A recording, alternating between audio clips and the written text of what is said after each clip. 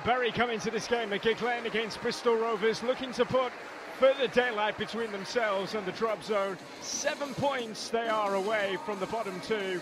A win against Northampton at the weekend, their first since February the 25th.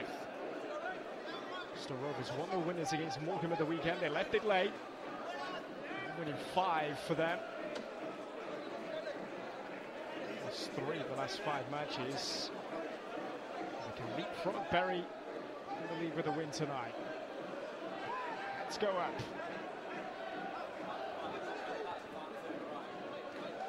Bit of head tennis going on at the moment. A bit scrappy. That's Hope. Oh, yes. Hallam Hope on loan from Everton with his second goal for Bury to open up the scoring. It's a perfect start for the Shakers. Three minutes gone. And didn't he take it well?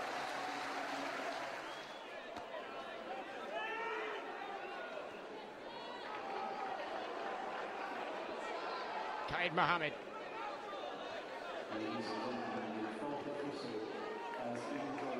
Right to left.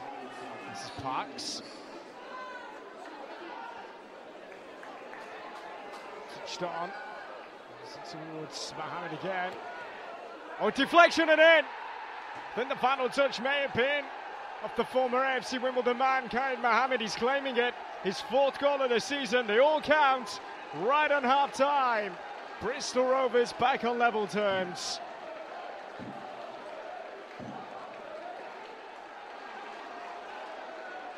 Strike coming in from Clark. Handsome deflection, getting the better of Jensen.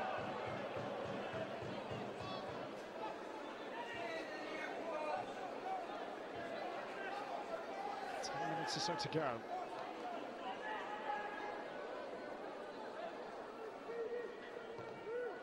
Soares making his move at the near post and giving Bury the lead again.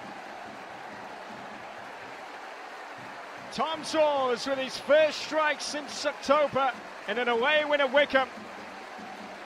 2 1.